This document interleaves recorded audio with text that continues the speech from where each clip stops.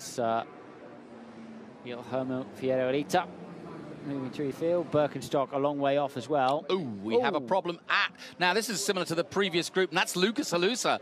Uh, backwards uh, coming into... To, to, oh, it's all going horribly wrong.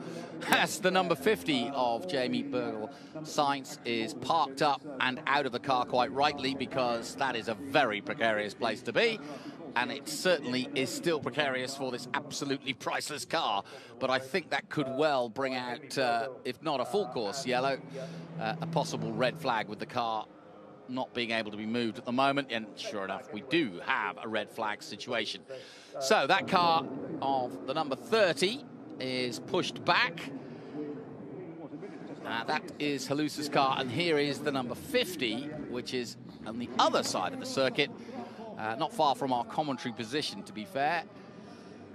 And here's what happened just on the exit of the swimming pool. Yeah, just got a little too racy. A strange line in, and Ooh. he just taps the barrier there. And look, almost slipping out completely out of the car. A scary moment, especially when another car was coming from behind. But that is what racing in those days was like.